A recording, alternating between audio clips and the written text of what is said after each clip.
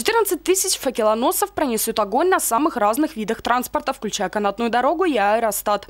Олимпийский огонь побывает в том числе и на космодроме Плесец в нашей области, на российской части живописной Курской косы в Калининградской области, окажется на Кимберлитовой трубке в республике Саха-Якутия и рядом с Авачинским вулканом в Камчатском крае. Наш регион примет Олимпийский огонь в ноябре 2013 года. Завершится эстафета церемонии открытия Олимпийских игр в Сочи 7 февраля 2014 года. Викрамадитя прослужит в индийском строю не менее 30 лет. Об этом заявил контр-адмирал ВМС Индии, командир судоремонтной верфи военных кораблей в городе Кочин Салиндрана Мадхут Суданана. Изменения в его конструкции и оснащение с применением продвинутых систем и оборудования дают уверенность в том, что он прослужит и 40 лет.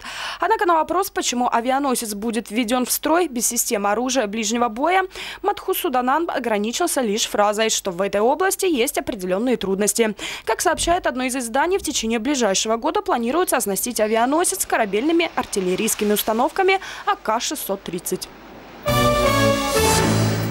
смог сегодня погрузилась столица Поморья. Причина – горящие торфяники. На территории бывшего совхоза Беломорский с 15 июня тлеет торф.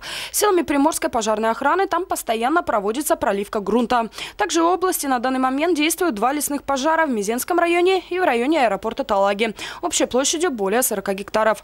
Оба локализованы. Напомню, в регионе объявлен особый противопожарный режим. Всего в этом году в области было зарегистрировано 258 пожаров на площади более 4,5 тысяч гектаров.